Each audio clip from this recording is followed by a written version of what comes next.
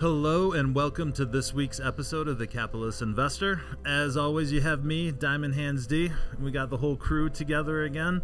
Tony the Tiger, Cool Hands Luke. What's going on, guys? How we doing? What's up? I think Tony and I are both tired. Tired. I don't know. I don't know just, why, why Tony's tired, but I got two hours of sleep. just like- can't sleep. I don't know what it is. Well, I barely made it through yesterday, so I slept, fell asleep at like 9 o'clock last night. So I'm actually feeling good. just rub it in. Jealous, man. So we are changing the structure up. I think of the show. Want to kind of go through that quickly? Yeah. So, um, I came like so. I, I want to start creating a um, more of a, an idea behind like financial planning and, and financial planning topics, ranging from um, financial plans, inflation, um, building a portfolio. Like there, we have probably the next four months built out. Um, so every week we'll come with a different topic, um, and I'm going to call it more of like the financial, you know, financial planning corner uh, of the show, and, and we'll kick off with that, and then and then we'll talk about like maybe one of the the you know the top one or two hot topics that are going on in just general investing. Um, so Yep. like we usually do, but it'll be chiseled down to the top one or two topics, but we'll always kick off with the, the financial plan. So with that being said, the first financial planning corner topic, the key elements of a financial plan, a comprehensive financial plan. So at the end of the day, um, you know, I feel that Strategic Wealth Partners is a financial planning firm because if we don't have a plan, I can't, you know, the recommendations for the portfolio, the recommendations for retirement, uh, retirement goals, spending, it's all guesswork, right? So, and uh, you know, I, I always tell people that um, a financial plan is twofold. First of all, for for the client, it is it's a crystal ball. It's a crystal ball for you to look into the future and really put together what you have saved, what you spend, how you live your life. It, it allows you to figure out will you have enough money to last you the, your entire life? A crystal ball into the future. For me, and and the other planners like Derek and Luke, um, it is a it's the blueprint. It's the blueprint for the recommendations, um, and and how to make what your retirement goals, how to make them happen. Yeah. So, um, from the plan, we're going to get retirement decisions. You know, when's the right time to retire? When do you start Social Security? Tax strategies. You know, what if tax laws change? How does that change your plan? If you have a pension or a lump sum, which one do you take? Um, long-term care is that can you self-insure or do you need help with like some type of long-term care policy? Um, if your plan's successful, um, the old saying "you can't take it with you" uh, rings true. So, if you have a successful plan, can you spend more in retirement? I think it's important to go over what actually like a plan is, though. Like the actual metrics you're going to get when you take away what you take away from the financial plan. So, like, I know I came into the industry, and I know a lot of people I talk to think a financial plan is essentially us putting pen to paper and saying, "Hey, like here's your budget for the foreseeable future. Here's like what you can do, what you can't do. Like this is kind of like what's going on from a financial planning perspective. Stick to this, and you're good for the next 20 or 30 years." That's what most people think a financial plan is. And the fact of the matter is, it's not that because we always talk about how planning's not an event; it's a process, right? It's always changing because things change all the time. But it's not just pen to paper showing you what you can spend, what you can't spend. It's really about showing you those what if I know that's kind of the topics for today too is the what if scenarios. What if inflation runs hot? How's that going to impact your situation? What if you retire earlier? What if you spend more in retirement? Like well, how is this ultimately going to impact your chance of success? That's what we care about is the chance of success that you don't run out of money age 90 or 95. Exactly. I think uh, most people, when they think of financial plans, are exactly what Luke just said. Hey, like, am I going to be okay? We put in a couple pieces of information, and you know, it's either a thumbs up or a thumbs down on retirement. Um, when you're doing a comprehensive financial plan, however, it should be giving you essentially bullet points on here is what we need to do to make your retirement better, and here is the dollar amounts that that we can expect to, to realize from it in the future. Um, and and I think that's what because when people are out there looking, they're talking to advisors, they're trying to figure out their own situation. They're getting bombarded with a whole bunch of messages, and most of those messages are investments, right? You know, you- you're you're doing it wrong because you need this investment, or you're doing it wrong because you need this annuity. And just putting financial products in place doesn't necessarily build your financial plan to be you know maximized. And I think that's what we really want to talk about, but also make sure that you're protected as well. You know, most people, the main function of a good financial plan is to give them that peace of mind that everything that they're doing um, is, working towards that common goal. Eh, yeah, go ahead. Here's the problem, though, with what you're kind of saying is, as planners, I see a lot of people I think making mistakes in this industry nowadays with using hi- only history as a gauge for the future. And this goes along with the whole investment returns kind of calculation or philosophy about how we, we need to keep in mind with all the damage we've done for the past. You know, all the printing of stimulus, all the trillions of dollars we printed, this debt this debt cycle we're in that we talk about all the time on this podcast. You know, how's that going to impact future returns going forward? And I think a lot of financial planners always say, "Oh, the market's going to return 7 or 8% every single year. Oh, you just got to look to history and if you do this, do this, do that, you're going to be okay for the for, for the future, for the next 30, 40 years." Well, the past 10, 10 years certainly probably are not going to be like the next 10 years and i'd say the past 30 40 years are definitely not going to be like the next 30 or 40 years right? So a good financial planner is going to take into account philosophies about the future and factor that into your financial So, so what you're really saying is that, you know, if you inside the planning software, the only variable are the investments because they go up and down. Right. Because we can dial in what I call the constants: your your budget, your Social Security, your income before you retire, your pe- you know whatever you have going on in your life. You know, the biggest number in the whole planet needs to be the most consistent is your budget. Um, but the investments are the thing that drive the returns, like or the return of the plan or the the results of the plan, because it's the biggest variable. Uh, you can't just put a seven percent rate of return in your thing and, and not have any variance because we know the market goes up twenty percent and then it goes down thirty percent, right? It- there's these huge swings sometimes, um, and and what Luke is really alluding to is that the last ten years, twenty years, thirty years, the average rate of return of the market is I don't know, maybe let's just call it ten percent, Yep. roughly, right? Do we really feel that ten percent is realistic on a going forward basis too? So what we're trying to say is that we try and in, in at least on our planning software in our planning team we try to taper those expectations and and provide lower rates of return so that and it's a form of a stress test in the plan. You know we're stressing the plan and assuming we're going to get lower rates of return. Now if we get higher rates of return which we will absolutely try to do um, it's only going to make your plan better. But i want to not give us pie, you know, pie in the sky kind of returns, and then we don't realize that in the next 10 or 15, 20 years of your retirement, your plan blows up. Yeah. That's what I'm, what we're really saying. And so, for example, I had a, a great case example um, last week, or I'm sorry, uh, yesterday, had a client come in, uh, Brian and Beth. Brian and Beth started with us about a year ago, and Beth just was full, just start, just started retirement. Literally, like the day we started working was the day that she retired. Um, Brian was more semi-retired and, and things like that, and they we sat down yesterday, and man, were they tan, right? and I'm like, where you guys been? And they're like, well, I went to Florida, you know, for a month, and I'm like, wow, that's awesome. How'd you like it? They're like, we loved it. We want to do more of it.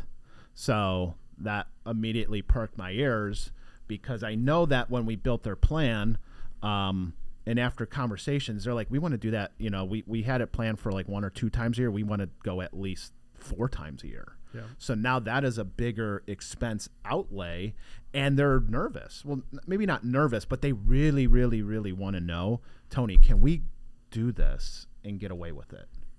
and and so that's where it's like okay that's what we're going to do we're going to rebuild your plan and we're going to see how many vacations they can get away with. And and then we talked in more detail like yeah we want to do this for at least the next 10 years um, and then maybe taper it down you know? So having a plan having a vision understanding that vision from the client is so important so that we can model it inside of the planning software. Like you said, engineer. Um, You're the engineer kind of here, right? So like you like to financially engineer those answers for you because that's all planning is is giving you the answers and peace of mind, making you able to sleep at night better, knowing the possibilities of your scenario. Yep.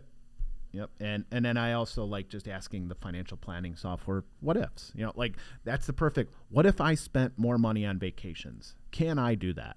And then simultaneously, we had a I had the investment team there as well.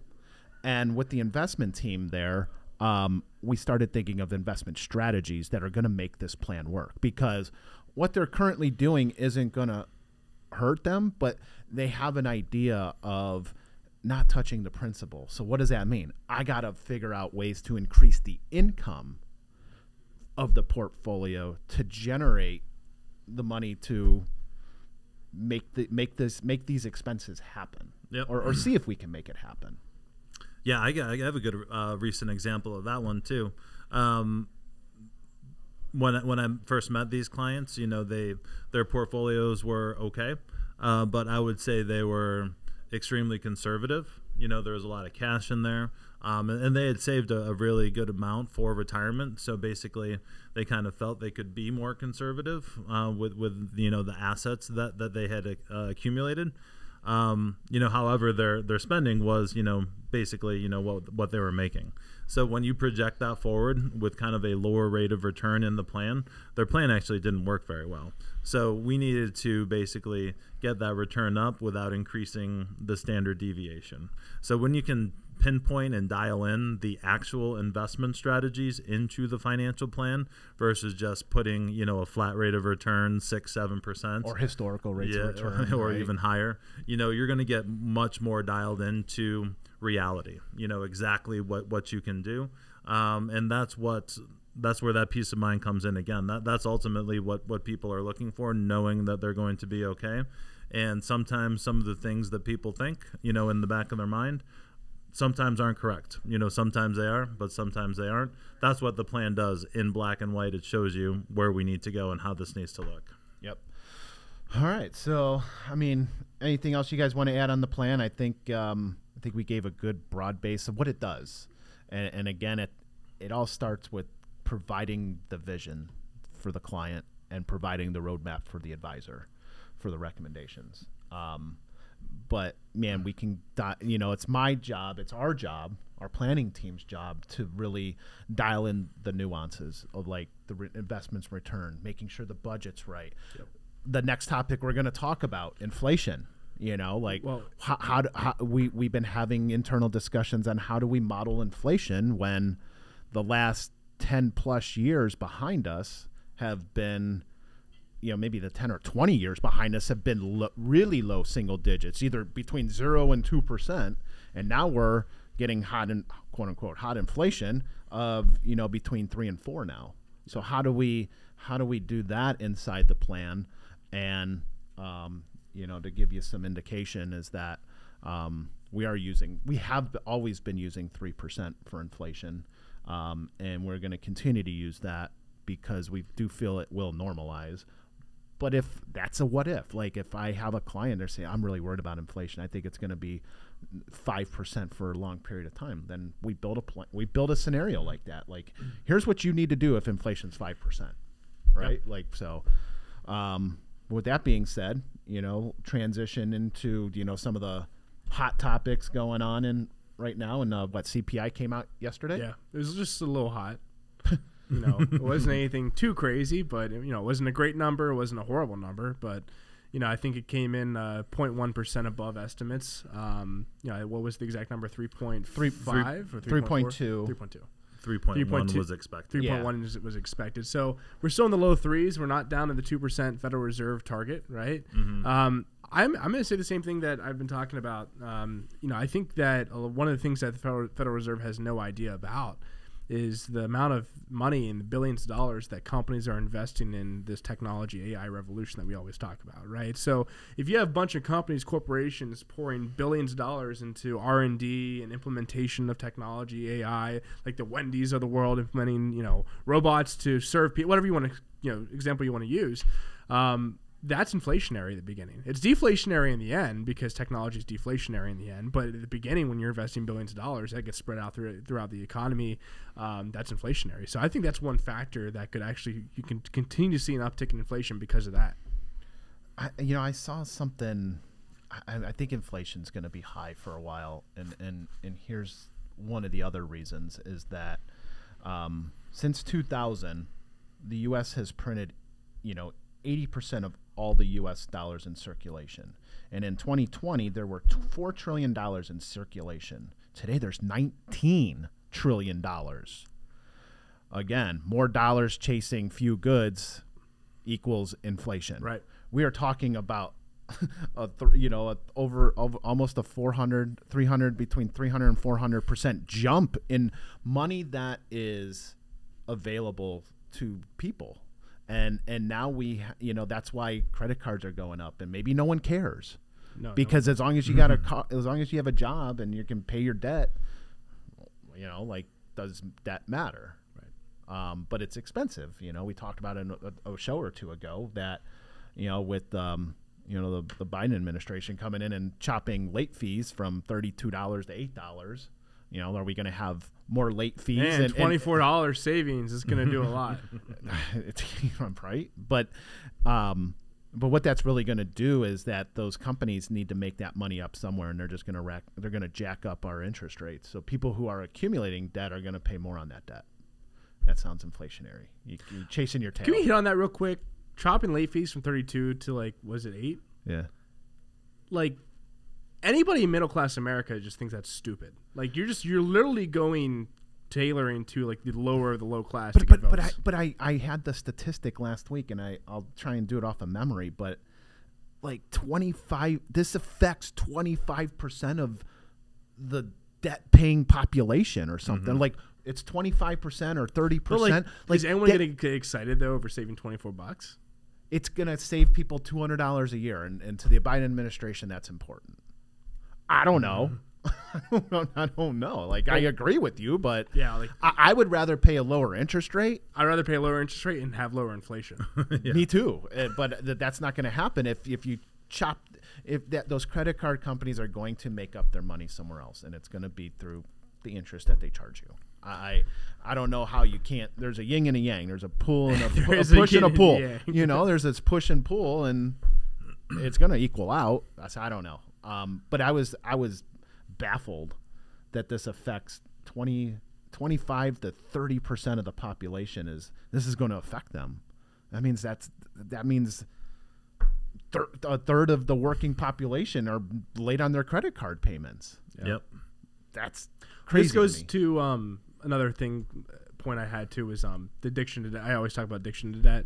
You know, I, one of my good mentors um, said to me that that's like a drug. The more debt you take, the more you want, the more you're, you're okay with. I think we're at a point where you have to factor in the comfortability with debt. People haven't lost their homes yet. People haven't mm-hmm. lost their cars. Yep. If they're late on their credit cards, they're like, "Oh, I'm just getting late. Like, cool. I get charged a twenty dollar late fee, thirty dollar late fee, eight dollar late fee. Like, mm-hmm. cool. That's all that happens. Well, let me keep on racking up debt because they're not coming for my house. They're not coming for my car. Like, let's just keep this debt brigade going. They're comfortable now because they're seeing that there's not really any big repercussions yet mm-hmm. until they absolutely cannot. They max out everything and then they they can't pay their mortgage or they can't go get another loan to pay off their old debt. Like, basically, people are doing the same thing the government's doing. They're printing new money, new debt to pay off old debt, and that's only sustainable for a certain period of time.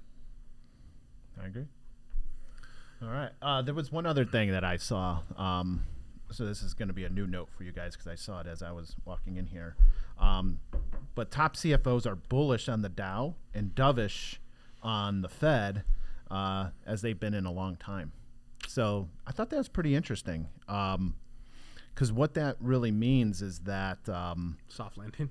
yeah, yeah, a, a quote unquote soft landing, and but the one thing that they said is that uh, uh, one of the consistent views is that they don't see inflation getting to two percent at any time, which is the Fed's kind of benchmark for lowering interest rates. I don't understand how we're going to lower interest rates in June or July is kind of the time frame the, the what is it 70% chance that they do that the heck's going to happen in june or july for them to do that why would they i like what they're doing they're letting The only way is letting it if inflation's settle. at two percent.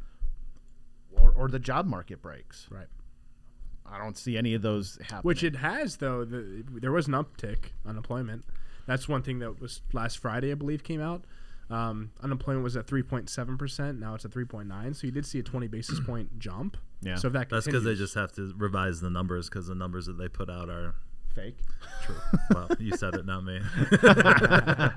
Inf- sorry, they're inflated too. yeah. sorry. yeah, Um, that's um, yeah, it's it's um, it it is.